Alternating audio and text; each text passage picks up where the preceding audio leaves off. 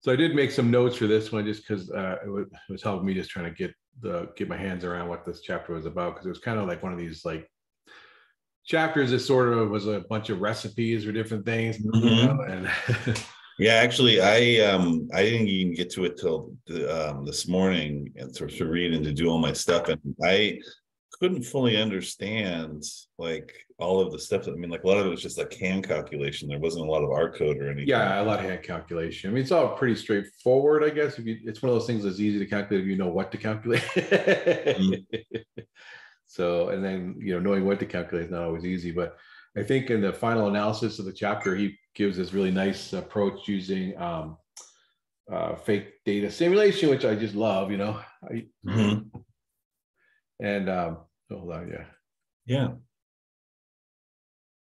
You want to go ahead and uh, get started? Anyway, yep.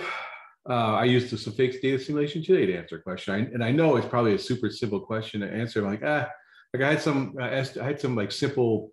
I was doing some simple machine learning runs, and I did like ten runs of this thing, and I had some, um, you know, calculate the mean, the standard deviation of it, right? Pretty straightforward, Mhm. right? And I'm like, and somebody else produced the, the same thing, but they got a result that was like seemed like, you know, hard to believe.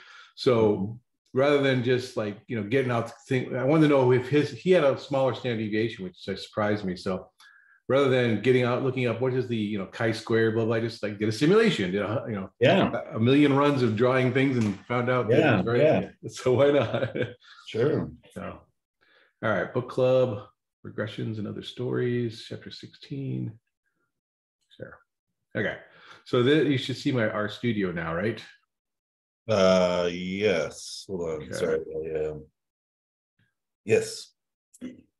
Actually, I didn't want to show my R Studio. I wanted to show. Here's a way to just switch dock to bottom. What does this do? Can you switch screens? Or you have to stop and restore it. Is that what you have to do? Do you know? What do you mean in terms of sharing screen? Yeah. I mean, yeah, you can you can just change which screen. You just change it, right? I found out how to do it. My lights.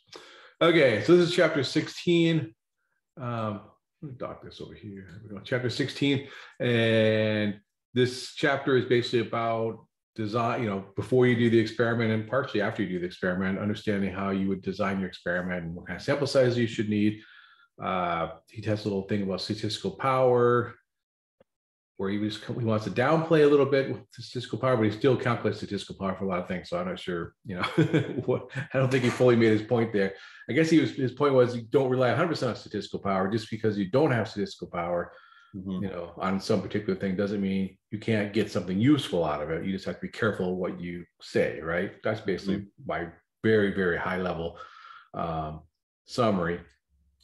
So what is statistical power? It's basically the probability that a particular comparison or particular result will achieve statistical significance, however you want to def- define that as well, right? So there's a couple, two parameters here, sort of there's the probability of success and then statistical significance. And you do an analysis by, well, you kind of hypothesize some kind of effect size. And he says, well, one way you could do that is just consider range of values, or maybe you, you should just base it on whatever magnitude of the effect should be there would be useful result, right? That's one way to do it, right? If, you, if you're expecting your, uh, um, if you're like doing a disease, a drug treatment or something like that, you want to, you know, want to have some kind of significant, I mean, practically significant, not statistically significant, practically significant results. So you should use that perhaps as your, uh, you know, maybe half that or a tenth that or something as your hypothesized effect size to see what you need to detect that, right? Mhm.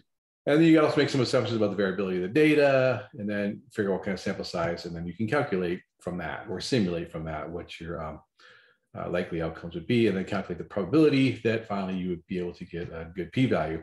Uh, he does mention here, and I think this is a really interesting section in the book about low power experiments can be Mhm. tempting, right? Because they maybe don't cost, yes, if you have a particularly low power experiment that doesn't cost you much to do, you might be tempted to roll the dice, you know, dig, dig, you shake the dice and hope you get a significant result. But he says the problem with that is if you do get a significant result, you may have just got, you know, have made a type M error or worse, a type S error. And he calls that the winner's curse, which I think was an interesting idea because you can imagine, like, oh, I'll just try this out. I mean, I don't, it's not really a high power study, but maybe there's a big effect and you see a big effect. Well, wait a minute, I wouldn't, you know, is this just luck or bad luck, as it were? Did I This just is, get the, lucky? this is the entire field of psychology for like It does last- seem like it, right? In medicine too, I feel like there's so many like there's so many things that we is so and not just psychology and other social sciences and medical Yeah. sciences but yeah psychology and this uh, i can speak for that one specifically where yeah there's just so many small samples that just are significant but yeah there's actually a famous or infamous study in um social psychology about like esp where Right, that's fa- I do that. Famous uh that. UPenn professor um published all this evidence but then it turns out that he had done a bunch of other studies that Right, yeah. so Yeah. yeah, I mean, like, um, yeah, it's, you know, you keep going. Yeah, you roll the dice. What do you say? You roll the dice enough times, you, you know, five percent is not that uncommon, right? Five percent is like one out of twenty. I got a twenty sided die here. If I roll this thing, Right. I, I rolled plenty of twenties on this thing playing D and D or whatever other games. So, Yeah. don't tell me it's such a you know unusual thing, right? Mhm. So anyway, that's the the that idea. Um, and so then he talks now this part of the book he talks about i think the next couple sections is just some examples or how you would do this for particular cases right? And these are all to me i thought were pretty straightforward except for this funky calculation here to figure out the um, how many what the sample size to achieve a specified power. You know yeah i just had to think about this a few times in order to understand why how he came up with this. It's not it's actually pretty straightforward. It just requires you know holding a few ideas in your head at the same time but um, so, for example, we know that if you want to, what's the sample size you need to achieve a particular specified standard error? Well, Mhm. for a proportion uh, measurement, right? Mhm. That's that we know is going to just be, you know, this we know how to calculate the standard error for that is p q over n square root of that, um, or the worst case, uh, you know, and often often a good approximation as well is 0.5 over square root n, right? So uh, you can use that to then turn that around and compute what kind of sample size you need if you need to specify a certain standard error that you want to have, right? But more commonly, you want to achieve some power of statistical significance, and that's where this uh, calculation comes in comes in from. Um, the idea being that if your results are going to, you want to make sure that the gray curve here is above um, uh, 1.96 80% of the time, then you know you go through this uh, thought process here that you have to be you have to move that curve 2.8 standard deviations over in order Mhm. to achieve that 80% probability. And it seems like, oh, how do you know? How, for some reason, it took me a little bit to understand, but it's actually pretty straightforward, right? Yeah, can you remind me again? So like the, the point at four, like what is, I, I forgot. That's just the, um, you know, the uh, how far on a normal curve you have to be to get 80%, right? Oh, right, right, oh, right, right, right, Yeah, yes. that's all that is. Yes, yes, okay, yeah, no, I'm, I'm with you, sorry, I, I, it- it's confusing because. It is confusing. A lot of numbers. There's like, they're, they're using different sides of the curve and, which Yeah. makes sense, I mean, yeah, okay, got it, yeah. Yeah, it definitely is confusing. Yeah, because I was using, I tried to do that two point eight thing, and then also, I guess if you want to use like a, a, a T distribution, it's um three. Right. He he mentions that, and you know, he says he, he doesn't really. We mentioned briefly about the t distribution, but then he says, you know, if your sample size are that, he doesn't say this, but it kind of implied that if your sample size are that small, maybe you better uh, rethink your whole experiment. Well, yeah, doesn't- actually, well, my example, uh, the, the, the study was like of these like classrooms, it was like sixty people or thirty-four, uh, there's sixty-eight classrooms. That's enough, isn't it? 68 30s usually. Well, yeah, and so I was wondering, yeah, I don't know, I mean, I guess, yeah, it is thirty-four is, I guess it's not typically like under twenty-five per group that typically Yeah. start worrying about T stuff, but anyway, yeah, so it is kind of, um, you know, a thing. Uh, and then he does mention that when you do a comparison of proportions, like for example, for some kind of effect or something like that, you need about four times the samples. That makes sense because you now add, you're now taking the difference of two distributions. So the standard deviation, the variances are going to add. So you're going to end up with, right, 4 Mhm. times needed. Okay, so uh, then the same kind of discussion he has about continuous distributions, and there's the same idea. You need one 2.8 standard deviations to get 80% power for 95% co- confidence. He does mention this idea about t distributions for small samples, which does change that a little bit. Uh, and then for comparisons of means, again, you have to add the, you know, the variances of the two smaller groups, right? And then if the groups are equal and the standard deviations are about the same, then you can just use this approximation that the uh, you know, need two sigma over square root of n, right? Which means again, you're going to need four times the size to get the same um, power. Mhm. Uh, let's see. Uh, this is just an example that if the effect is like expected to be like a half a standard deviation, then you're going to need um, you know, one half six sigma over SE, we need that to be 2.8 to get 80% power. And you just go through the algebra and it's 126 uh, samples for that mm. particular example. So it's, that's, it's pretty straightforward, right? What you need to do. Yeah, I, I, tried to do this and I, I messed up. Actually, I tried to use the mean difference between, um, I have a treatment and control situation. Right. Number 10. And so I was like putting the mean difference instead of 0.5. I didn't realize it had to be in units of standard deviation. So that was my bad. I actually screwed that up and ended up doing it a different way. But um, yeah, no, that makes sense. Uh, let's see what else is there. Um, so in terms of regression predictors, he does make the point that I mean this is something you know. Um, if you add like more predictors, you can control for some more of the variance, and you can re- decrease that residual standard deviation and reduce the required sample size. And there's an example of that that I'll do when we get to the end of this chapter uh, for the fake data thing. I don't know if you got as far as the fake data part, but I'm going to go through I that. Got into it, but not, not, not, not well, I'm going to kind of walk through a little bit with the tidyverse um, example of it, just so we can see how that works. Uh, and in general, as you know, uh, standard error scale is one over square root of n. That's just something you you know you get used to uh, remembering. Uh, so if you ever you need if you need to reduce the error on a coefficient, you're going to have to you know use that square root n factor. So if you want to reduce it by half, you need four times the samples, and that's just the fact of life. And then hmm. this sentence right here, I copied out of the book. I just thought was really interesting. Um, yeah. And I think that's something you put on a T-shirt. You know, sample sizes are never large enough, right? It's, and he's, what he's, his point is, if you get more samples, you start to see more stuff in the data. You start to look at maybe look at interactions. Maybe you just you know, yeah, you look at some this other is, coefficients as a consultant, I can tell you this is such a huge thing because, of course, you know, clients are asking you like, how much, what's what's the sample size we need? And you go, well, okay, well, and then of course on the front end, you're like, well, if we're going to look at main effects, we're going to look at interactions, we're going to look at subgroups, we're going to do this, and of course they're all like, oh no, you, you know, it doesn't really matter. And then of course you, you so you power for like main effects, let's say, yeah. All of a sudden it's like, oh, hey, let's get into, let's do a bunch of, um, you know, now all of a sudden they want to do all the interactions. like we didn't get, yeah. Well, that's yeah. something he points out too, and that's actually the next chart, but next slide, I'll just mention here though, is that one of the things, one of the things I think you mentioned before is this idea is like, oh, we didn't see anything in the main effects. Let's look at some interactions. He says that's actually a, a, real bad idea because you might, you probably will find something in those interactions just by bad or good luck, as it were, right? Yeah. So that seems like something to be very tempting to do, right? Well, yeah, I mean, and, and sometimes I, I, don't know, like, yeah, sometimes I can understand the, the the purpose of like you know wanting to do exploratory stuff, but yeah i think this was this is a great example of i mean like if you have a big if you have big enough data you know like one of the ways you can get around this is to do like you know a, a training and test kind of a right. to see if you know at least you know you get uh, similar results i guess for an interaction or something and so in this next section he talks about interactions and he says well you, if you want to get the same kind of power uh, for an interaction that has the same size as the main effect which is not the common case you need like four times the sample size just because it's an interaction. Uh, and he said, like he said, this implies a problem. If you don't find your anticipated main effect, and then you go looking, hunting around the interactions to bail you, to help to bail you out somehow, then you're likely going to be making some type M or even type S errors, uh, just because of the winner's curse again on that, right?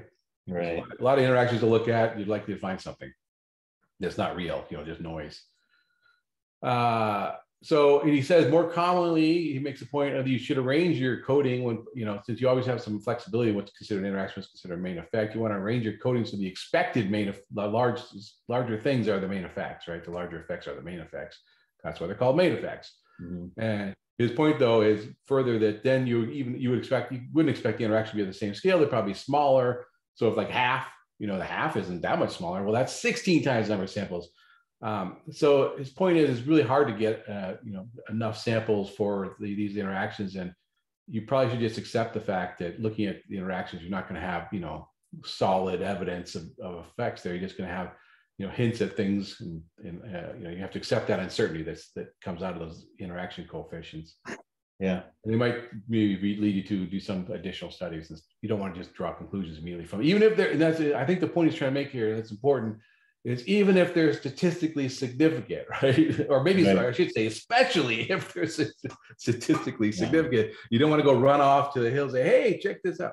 Um, you want to be careful about that because you got to remember this is the whole issue of the what is it called the garden of forking paths again. We want to be careful about that all the time, I think, and that's something that you always I always have, To, I mean, I think I run into this all the time where I'm doing something for somebody and, you know, you're trying different things and you, you have to, I now I low, I like stop myself and go, wait a minute. I tried this like 10 different ways now. okay. Yeah. I think, I think what it's telling you is like when, you're, when you're working with clients and, and or people, it's like, I think it's really important to like be careful about what you show them. Right. Yeah. Oh yeah. I make that mistake. Oh, I've now yeah. better. Oh, hey, this is so exciting. Yeah. Also, oh yeah. When I was, when I was especially younger days, I would do that all the time. Like come run into the, you know, run into my advisor's office, going, check this out. But he's, he's always, he goes, ah, go back and check it again. yeah. Or, well, no, I mean, like, but it could be, I'm not saying there's a mistake. I'm just saying you could have made a, a winner's curse. Yeah, no, that's, what, that's exactly what I'm talking about. It's a real result. It's I'm not. Oh, right, right, right. It's not. A, it's not arithmetic. It's not a statistical error. It's a thought process error, right? Yeah. He used to always my my my thesis advisor used to always tell me that I I suffered from this uh, jumping to early conclusions thing, and he kind of cured me of that. It took me took me a while, but mm-hmm. I'd, I'd, be one of these guys. I would often be like, "Oh, this is probably what it is," and then I'd be like, "That's what it is. That's I'm done." you know what I'm saying? Yeah. So I had to learn not to do that. Tempting. Yeah. First thing that works is not always the answer. Generally, it's not right. So uh, I wanted to then look at this uh, example in R that he did here. So I'm going to switch screens. Mm. This is for the samples. This is for the interaction thing. I thought it was pretty cool, and we have time. Oh yeah, we got plenty of time. I'm going to switch my share to back to this, I guess. One of these things. Yeah, can, I, I, think it's easier if you just unshare and then like reshare. But oh yeah, this works actually. Never mind, it works. I don't want to close. Yeah, I don't want to open it to git ignore. Um, I'm going to. This is called. Um, what is this called? Crap, I forgot what it's called. Hang on a second. Sample size. Okay. There it is. This is just this is just the type. This is the thing you can download the tidyROS thing. We're just going to use it directly as it is. Uh, so it just mm-hmm. uses a tidyverse and RStan. It's going to give an error here when it can't read in the source uh, file comment because I'm not in the right directory. I'm in the wrong project or whatever. But none of these things in here matter. They're all like beautification things, so it doesn't really mm-hmm. hurt anything. So the idea for this section was to simulate um, an, like an interaction problem, right? To just demonstrate how interactions are harder to estimate than the main effects. Right. So what is it? What is we're doing here? We we generate a uh, outcome variable that is a randomly distributed normal variable, right? And then these um, predictors, which have nothing to do with the outcome, right? Just keep in mind these are just these are just random predictors, um, minus a half, plus a half, minus a half, plus a half. They don't actually predict anything. Okay, this is all noise, uh, but that's okay, right? So I put this in a nice little tibble, um, and that's basically it, right? Just make it into a table. Yeah. Where is it? There it is. Okay.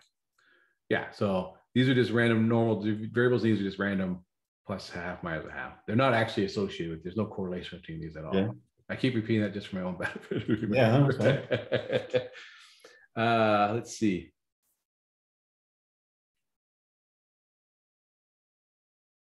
Yeah.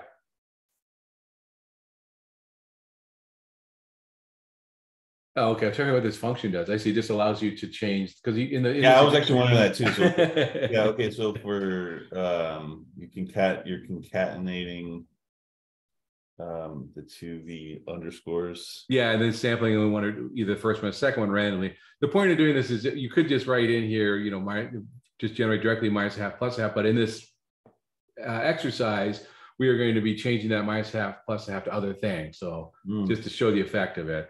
Um, so first is minus half plus half. So the, in the minus half plus half, the reason for that is that way the effect has the uh, a value of one, right? One is the difference between uh, the two, the, the, effect of that particular predictor, even though it has no effect, but at least there's a change of one, right? The delta is one. And the other thing is that the uh, average is zero. That's that's why choosing that, right? That's like what you should normally choose. And you can do the fit on that. And again, he says, um, well, this is just fitting on one of them. I don't know. In the book, he does it, but he doesn't actually show this. So I'm not sure what we're supposed to conclude from that. So I'll just get past that. Fit on both of them and an interaction, right?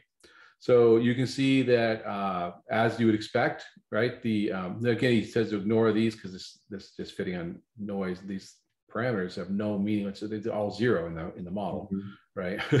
they're all zero. But the standard deviation is what you want to look at here, and um, you can see that yeah, they do follow the formula that um, the the standard deviation on the main effects is 0.6 and the, the interaction effects are, you know, twice, uh, Hmm. right, as, as we expected, right? Oh, right, yeah. That's pretty cool. Yeah, twice as big, so you need, I was thinking, yeah, where's the four? The four comes back as a square root. So if we wanted to reduce that by, uh, you know, a factor of, you know, to be the And same. the, and the strength of the relationship with the predictors doesn't make any difference, or like it does. uh, that's Right. what- Okay, And then the, next part, he wants to say, well, what if we use a, what if you use a coding that was zero, one for the, each one of the things, right? For each one of the, the variables Mhm. and skipping that. And then in that case, you find that the uh, standard error of the interaction is unchanged, but the standard error of the main effects has increased by a factor of square root of two. And why is that? That's because when you do it this way, you're these slopes now are for the not for when the other predictors held at its average value, but rather when the other predictors held at zero. So you're basically using half as much data. Mm, Why? So basically, only thing that changed the standard error on these uh, individual slopes went up because they're they're only based on half as much data. got it. And then finally, you can get back to the, the instead of using minus half plus half, you can use minus one to one. And in that case, you would now be using all the you'd be now be fitting each one on the average value of the other one again, zero. But um, the scale is bigger, and that's all this does. Just oops, let's skip that. I don't care about that. This just makes the scaling. It's just a scaling issue, right? So just uh, each one of them's gone up by uh, uh, you know the, the predictors have gone up by two, and the interactions, which involves both of them, goes up by four, and that's why these are all look like. The point of this was just to see how, you know, how the interactions are affected by these um, these scalings, right? Okay. understand that a little better. So when you increase, you know, these things are go by the square because they involve two things, x1 times x2 essentially, right? So that's why that happens. Okay, so that was that section. Um, let's go back to where you were.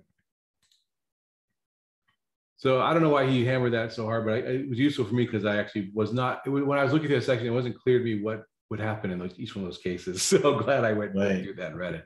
It's clear in hindsight, but ahead of time, like, huh? So. Yeah.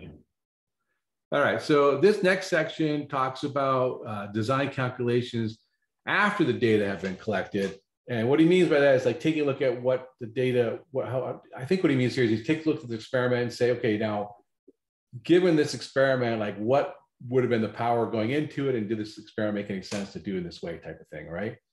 And he goes back to that beauty and sex uh, ratio thing from chapter nine, where if you remember the study claimed that very attractive parents were 8% plus minus 3% more likely to have girls.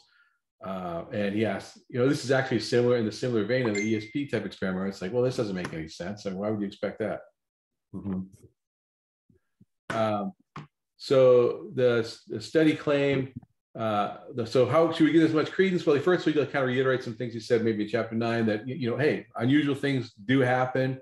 This could be one of those 5% cases, right? And also he points out that the researchers, you know, picked for their final report a particular comparison, only the most attractive parents versus all the rest. There's other things they probably looked at as well. So there's a little bit of, you know, uh, garden of forking paths here that is involved as well. Yeah. So uh, he also points out that previous studies of similar things that never, you know, don't, well, they would suggest that seeing an effect uh, even as large as 0.5% would be a huge surprise, right? So this study, you know, going into that, this study should have made a, the sample size is probably too small, right? Because if you think the effect's only half a percent, uh, this study is only able to detect an effect that's 12 times larger. So it's just set up for type M error or maybe type S. We don't know. Maybe the beautiful people have more boys. We don't know.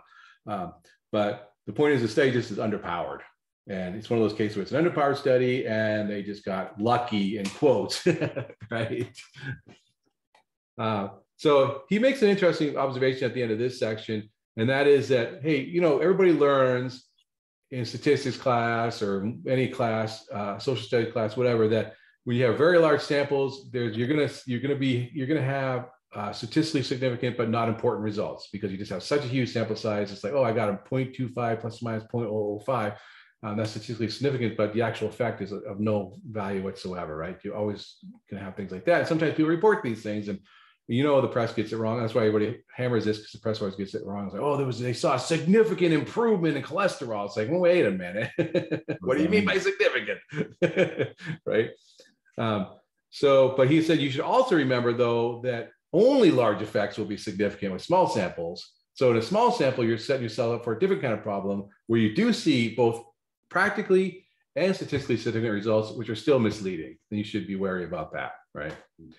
It's not saying don't do it. It's just saying, you know, you could make, be aware there's weak evidence and suggestive and not a definitive result, despite the, you know, all the, you know, the, what do you call it, traditional statistics telling you, oh no, this is significant, you know?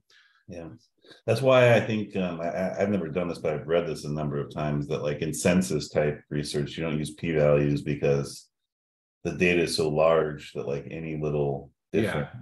between groups or whatever is just going to be significant just because of you know the massive right sample sizes. So uh, yeah, yeah, and it's I guess the point would be that like just because there is a difference doesn't mean it's an important difference, right? Right.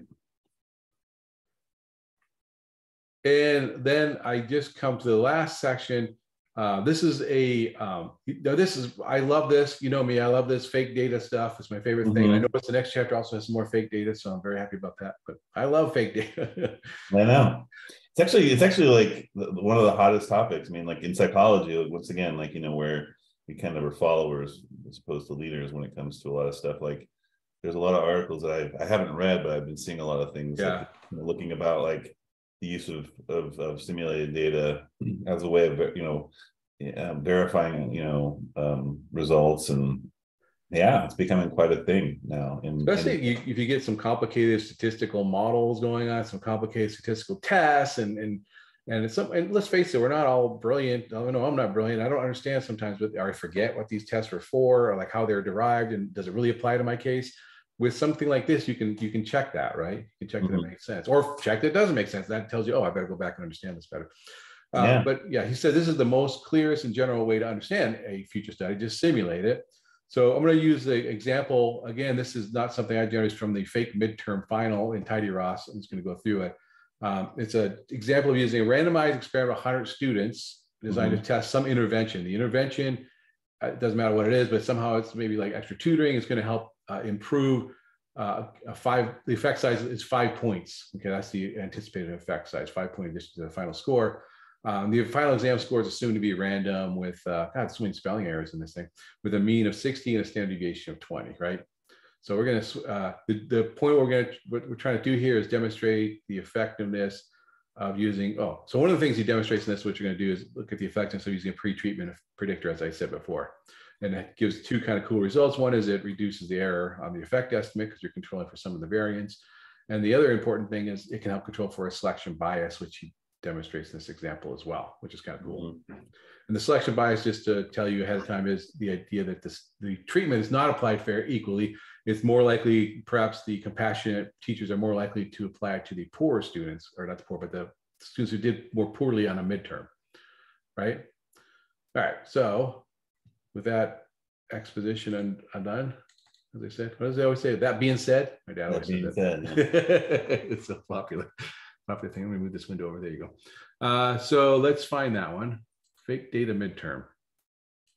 I just love these things. By the way, there's two sets in here. This first one is the for the, what they did in chapter nine. Just in case you're wondering if you go into yeah, yeah, I, I have I've downloaded that. Yeah. So again, don't worry about that error. Uh, so let's see if we can remember. Let's see if I can remember what text going on here. How much time we got? Okay, we got time. We can mm-hmm. we can think about this a little bit. All right. So first, we're going to simulate the uh, final. Um, for going to be 100 students, and if they're the control group, their final exam result is going to be 60 plus minus 20, and if they're treated, uh, their going to be five points better. We said that before. Yep. And then we're just going to randomly sample half, you know, half for one group, half the other group. Uh, here we're just using ifelse to do that. So that generates that first uh, simulation. No midterm is involved yet. Okay. Yeah. So having done that, you can do this the hard way. I'm just going to skip that. Uh, or you can just use, uh, you know, a linear model, which seems like overkill, but it makes things easier. So we fit this linear model and we find that the effect size is anticipated to be 4.6, which is what we expected, but the error is four, right? So that means, um, what does that mean? Oh, he says, don't focus on the point estimate, which I just did, because if you repeat this for another batch of 100 students, you will find, uh, you know, just another simulated thing, you will find, oh, look, in this case, it's 12. You could do it again, you get minus something or whatever, right? Mm-hmm. So you can't, shouldn't focus on the, the predicted effect size. You really want to look at this standard deviation. So this tells us what we should expect for the power for this, or the, not the power necessarily, but the uh, the standard yeah. deviation from the this kind of experiment. And if that's good what enough, that, what was that up above? Is three point seven here? What's it? What's it up above? Four. Oh. Yeah, he says there's this. You know, he points this point that you know this stand this thing is in some ways can be just calculated from sigma, right? And so since sigma is pretty well uh, confirmed, right? Plus it's very small error compared to its value. That this estimate is actually pretty good of the of the error. Okay. Okay. Now, um, so that that's you know that's it. Now you now you know like if I did this experiment in this way, I'd expect you know that kind of error. If that's good enough, then fine. It's not going to be good enough to get a, a reliable power for getting a 95% estimate. That's for sure, right? we need you know two we need two and a half times that sample size probably, right? Uh, wait, no. Well, we need to get the standard error down to be two and a half, 2.8 uh, smaller than four, right, or than five, right, to to to be happy with that. But that's not the point here. The point here is just like what is what is the uh, result going to be? All right. But rather than increasing the sample size, maybe we could use a pre-treatment predictor instead. So what we'll do is we'll check them on the midterm. Okay. Because if they do well in the midterm, this will take care of some of the variance based on basically how smart the kids are, right? The smarter kids will do, we'll separate them out, right? We'll, we'll separate them out based on their their uh, well their smartness in this class anywhere their ability to retain the material in this class let me put that way right Wait a minute, so did you pick the 50 20 um the designation or was that from the book or whatever that's from the book yeah I wonder why like why would you want to like why i mean why not make it yeah. zero and sigma i mean i don't i don't yeah, anyway well because it's this test right 50 you know you get a 50 on your test you got a 50 percent score right well right i know but that's like that's not like really good though. I mean, I mean, or I guess. Oh, right. That's a pretty poor score. Yeah, sure. yeah, it doesn't matter though. You're right. I mean, we're just simulating some. So this, I'm actually going to skip this because here he just adds in this midterm and then you know adds it in, but really actually it's not a it's not a uh, not a control variable because he just simulates the two things separately, have nothing to do with each other. So I'll skip that part uh, and go to the part where we actually make a better model. In this new model, we generate some we generate some underlying latent a true ability for the students that we obviously can't measure. And he huh. divvies up the error, the original 50% or 20% error into part, part of it on the ability and part of it on the fluctuate. So there's two kinds of fluctuations here. One is just the students are spread about different abilities, the other one, and these are just made up numbers, right? Which is what you right. do when you do fake data, you just make up numbers the same rate school, right? And it's okay. And uh, then, so if they're in the control group, they it's their true ability plus some now it's around zero some fluctuation around zero how well they actually did on that maybe they didn't get a good night's sleep maybe they didn't study as hard as they should have whatever right? There's some fluctuation there. Uh, and then why is it plus 10 now? No. That's plus oh no what is this plus wondering 10? about that. Maybe that's the oh uh, right because right so uh this is they do 10 points better on the final than they've done the midterm. This is just everybody should do like 10 points better on the final they do the midterm because they're, I guess, because they're studying. That's I don't. They didn't really give a good explanation for it, but I guess because they learned something in the meantime. Okay. And on top of that ten, we're getting an extra five for the for the control group, right? Yeah, got it. So that's all that is. So they do ten better than their ability, their their latent ability on the on the final. So we have two variables. Uh, first one is the midterm x. This is their midterm score. There's no plus ten. That is just the midterm. And then finally, we have uh, whether you're which group you're in, and then and then we then we have the mid the final score, which is the two variables we define up there. If you're in the if you did the, if you're in the treated group, you get the treated. If you're in the control, you get the control. Okay, so um, again, a simple comparison is same as just a regression on the treatment. So we do that, and look what happened here. So you know, oh, I didn't evaluate this. Helps if you evaluate things, right? And we find that the uh, but why didn't the, oh, this is just, this is just ignoring. So this is just, this reproducing what we did before. But even though I made the whole model up, right? I'm just, what if I only looked at the midterm without adjusting for the pre-treatment predictor, I find the same results I got before, plus or minus about 4% on the prediction. But now if we include the pre-treatment, right? X, we find a reduction in error. That was the claim, right? That we can, one way we can reduce the error is by doing this uh, pre-treatment.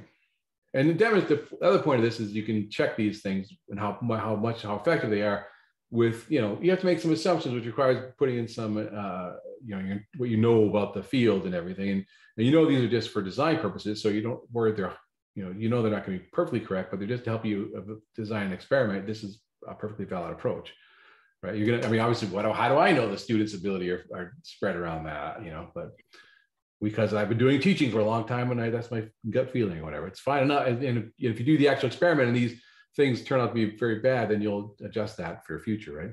I assume. This is not from the book. That's just me talking, by the way. If anyone's watching this, think I'm talking about the BS. You're right. All right. So now the next thing, which I thought was really cool, is this uh, adding in a selection bias. By the way, this plot won't work, I don't think. So I'm going to skip that. I don't think it's important for this, right? This is just demonstrating there is no selection bias in the original model, obviously, because we didn't put it in. Uh, now, if we do add in some selection bias, so how do we do that? Uh, so again, their two abilities the same as it was before. Uh, the same, the effectiveness of the test, the final test is the same. The difference is who gets chosen for uh, the treatment.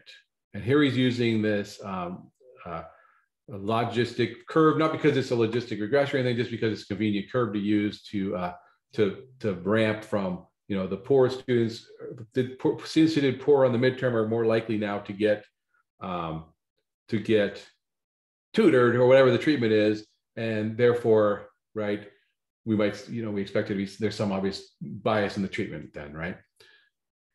So that's what this code does. Uh, I'm not going to skip this plot because it won't work because it didn't. That sequence range function is something just defined in that. Well, I mean, I could just run this, I guess. That's the reason why I can't, right? And then now I can plot this, right? No, so there's no this curve function. Why didn't that work? Is that in here? I, mean, I don't know. I want to kind of see this curve.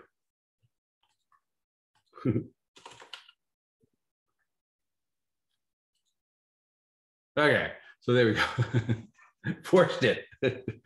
so this is that the bias curve here. And now you can see that the, the pre-test score, which is shown here, this is the midterm as were score. And you can see that the students that did more um, poorly on the midterm are going to be more likely to be treated. That's the the goal wow. here. And this is because our, you know, compassionate tutors, we're not using random selection. And so we can uh, run that experiment. Oh, so the point of this is to really see what's happening. You need to like, uh, what, what we're gonna do is this, this captures that whole experiment again, but we're gonna do it like multiple times. So you can see, uh, not, you know, we can see like average, of, we can average over the effects, right? So we can see what's happening. And rather than just seeing one estimate, we're going to get a bunch of estimates and, and average them. This actually takes a minute uh, to run. Okay. A second or so.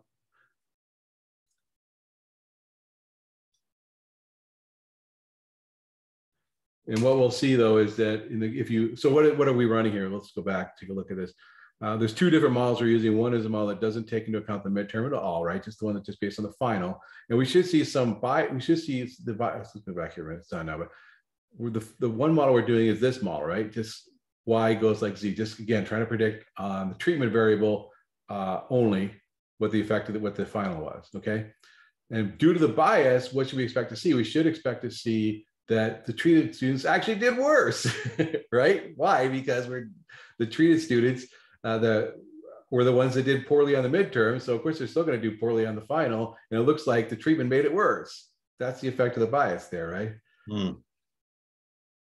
Whereas if we control for the for the pre-treatment, then that goes away, and that's exactly what we find. We see that actually, if we didn't control for the, we didn't know about the bias and we didn't control for the midterm, we would have said, well, their treatment didn't work at all. it was horrible because we didn't realize that the teachers were being compassionate and only tutored those students that were doing poorly in the class. so we selected out the poor students for the treatment.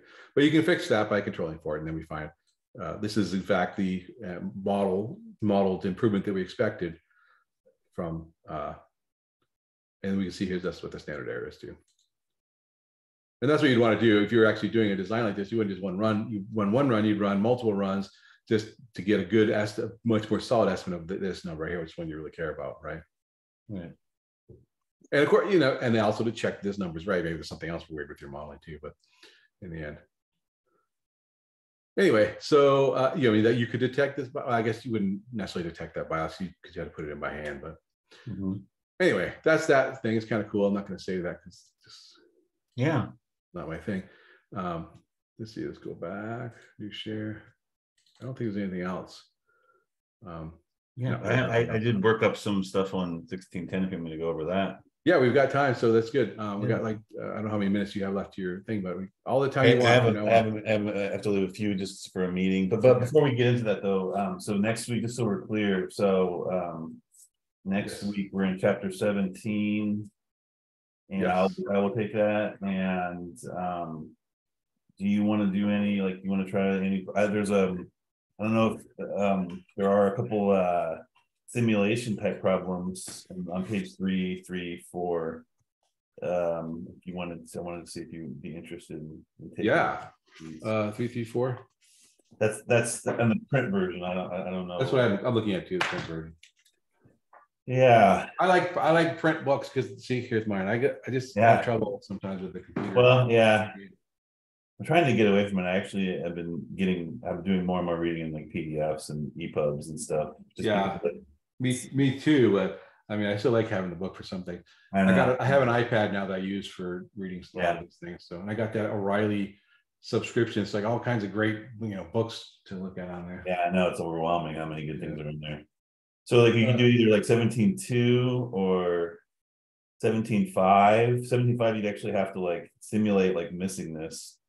Um, I don't know if you're interested in that, Take Or- it complete with data set of, of interest to you. Or seventeen six.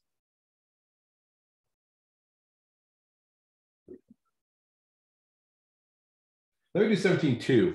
And maybe Okay. I'll do other ones beyond that, but at least I'll, I'll sign up for seventeen two.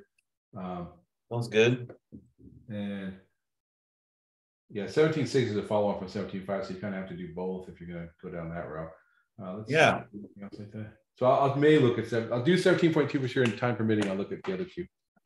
Sounds good. Which means All probably not. so is my, is my R session popping up here? Yes, I got good, your- good. oh, I like your color. I need to change that. Yeah, I was actually wondering, it's funny you you mentioned that, because I uh was was thinking the same thing, like, uh, you How do you know, do I used to have the white, you know, background, but supposedly this is easier on your eyes. I don't know. I I actually I- like, but I do like, I like your your, you know, sometimes I do like the idea of of doing white, um, but whatever. All right. Um. Okay, so this problem was, um. It's, uh, they- we're using the electric company data, which, you know, originally you might think, oh, that means electric stuff. No, it's electric company, the TV show, which you and I are probably Sesame Street. Yeah. only, probably we're old enough to remember that. Oh yeah, I remember that. I remember. What's Morgan the Freeman was on, uh, Morgan Freeman was on Electric Company. It was it was the same company, I think, as Electric Company. Um, so we have a sample of like one through four grades, I think. And so suppose you want to perform a new experiment under similar uh, conditions, but for simplicity, just for se- second graders with the goal of having eighty percent statistically significant results at five percent, you know, ninety-five percent or five percent, whatever, in in grade two. Uh, so the first thing they wanted you to do is state clearly the assumption you're making in your design calculations. Hint, you can set the numerical values for these assumptions based on the analysis of the existing electric company data, which is uh, 68, uh, I guess they're classrooms. We have pre-post uh, te- test scores. Um, I, I didn't, not all of this stuff I, oh, I totally understand, but um, yeah, anyway, I, I, so yeah, so what are some assumptions? Okay, so I'm using, first assumption I'm making, I'm using the, the, the existing second grade data to uh, infer about the power and statistic, uh, sample size issues, that's obvious. Um, I'm assuming that the sample data collected reflects the mean and variation of scores in the population. I mean, that's always, anytime we do inferential statistics, we're doing that, right, Sometimes. Um, I'm assuming that sample data collect collected reflects the mean and variation of scores in the population. Um, so, so um, oh, and then uh, the electric company, I'm also assuming that the electric company intervention was strong enough to show an effect if it actually exists. I mean, you know, this is all secondhand data. Okay, so uh, I started doing all of the stuff that they were doing, like in the book with all the, you know, I, I ran, I, I screwed it up because, like I said, I instead of using um, a standard units of standard deviations, I used like a mean, the mean difference between the two groups at post test. Um, so I ended up just doing kind of something a little bit more like basic, just using like a, a power Okay. function. Um, okay, so first off, they're evenly divided between um, treatment and control. And so um, all I'm doing is um, just calculating the post score. So for the first thing, I'm, you know, that we want to we want to be able to simply compare the average scores for the treated uh, classrooms to the average score for the control. So I'm just assuming that just means a post test for now. So I'm calculating what the mean is at post for treatment and control, and what that difference is, and what the standard deviation is, and you know, doing like the the merged standard deviation that I need to do a, a calculation. And there's this thing called power.t.test, which is a pretty standard.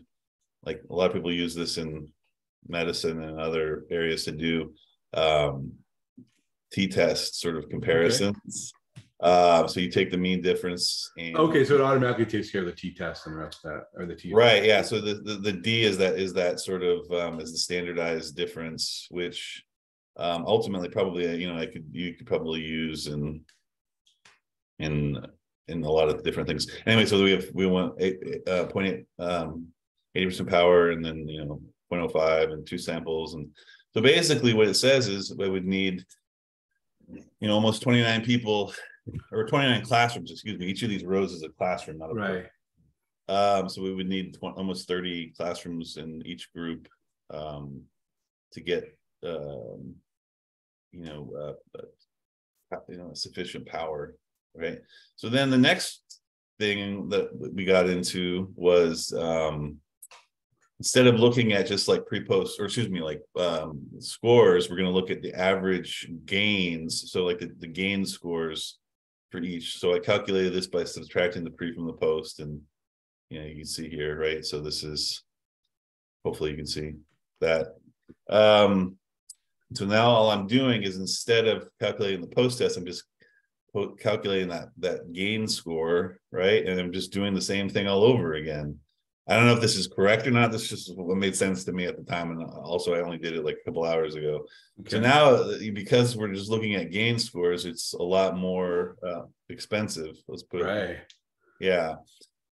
So, yeah, you would need sixty people in each group or sixty classrooms in each group. I don't know if that did that correctly or not, but um, do you have any thoughts about No, that? I, I didn't do it either, so I don't know. No, I I mean, so, so He's so right. Yeah, so so so using uh, you know uh, delta scores, you know, basically change scores instead of raw scores. I mean, I guess what that's telling us is is it's just harder to detect that effect. Yeah. Um, So we need a bigger thing. It's funny because like yeah, if we were doing this, you know, just in the in the world using real world data, we probably would do both of those things on the same data set. You know what I mean? Just to see, of course, what this is telling us is, is that it- we're powered differently, obviously, for one over the other. And then the last part was repeat, but um, now we're gonna do the pre-tests, which you kind of talked about the using. Yeah. So I, I didn't even get to that. I, I ran out of time, but um, yeah, I was trying to do um, all of this stuff. I was using 3.1 and I was using that mean difference, but really it needs to be doesn't it needs to be like the the units of, of standard deviations is where we got I got off. So anyway, um, but yeah, I don't know if you've ever used have you ever used this function before? No, what what library is that in? It's in um P uh it's called the PWR on power. test, Yeah. Power library. And so yeah, I mean this that's is cool. It's pretty it's this is like way before like the tidyverse and stuff. So I mean it's like if you want to like like you know get stuff out of this, you got to do a bunch of um you know specific you know kind of pulls from from the objects but uh yeah i mean i've, I've used this type of stuff you know in a lot of studies, you know, just using you know t-test, obviously, you know, not com- not controlling for a bunch of things, although that's something that a lot of people are trying to do more and more now in medicine. Yeah. But I have yet to kind of learn as much about that. So yeah, that's it. So um so how about this? Yeah, we'll we'll get into chapter 17 next week. Yeah, step seventeen looks like another short one, so I don't know if we need to split it, but feel free if you feel it. No, no, no, no, no. Well, I mean, well, I'll. um yeah, it's only well, it's only 20 pages and no, I think we're you know, let's just, let's try to um I think also what we're learning is we're not going to learn everything in a chapter. So I think um No. you know trying to get through this. So yeah, basically we got 18, 19, 20, 21. Man, So we're in a causal yeah, I mean, I guess we could, yeah, we don't probably need to do the appendices, but so we've got no, we don't. we got one, two, three, four, five, six more chapters. So each of us will do three more. Yeah. Man, this was a beast. Yeah. I think, yeah, I mean, I- this has been an interesting experience, but I also say that like one of the things is like, I think, um, I don't know about you, but like when he, we, we- you get these like sort of Bayesian outputs with like, you know, with the standard, you know, the MADs and the, you know, the standard errors and stuff. It's, it's really hard to, you know, you, because there's not like this one definitive like p-value moment where you're like, oh, it's significant or not, you know, it is a little bit anxiety provoking, you know what I mean? like you're like what does it mean well you know it depends you know and it's like i think um yeah no i think this is a lesson because i think so much of our like the winner's curse or whatever is yeah. Just about wanting to be certain about something you know what i mean There's no certainty. there's no certainty yeah yeah I, think it's, it's it's it's a good lesson but it's Yeah. also a hard lesson because it's like yeah it's like he's not really teaching us how to definitively do x y or z it's like here's a bunch of tools that you can use to um, do stuff but know that like here are the the risks or here are the downsides or here are the things that you know you know what i mean it's like i Yeah. think that's it's, it's interesting but a hard lesson to um to go with but anyway i'm rambling No, I mean it's good thoughts because it is true. I think that um, you know, a lot of times you're like, what's the, you know, kind of like when I was learning physics, a lot of people, you know, some people would approach learning physics like, oh, what's the formula for this or what's the formula for that? And that's Yeah. the wrong approach because that's not that doesn't give you any deep understanding. The same thing is true in statistics. Like, what what what test do I need to use for this? Yeah. If that's the question you're asking, I feel like you know, or it is a question you should ask, but also you should maybe understand better why this particular test is useful or not, right?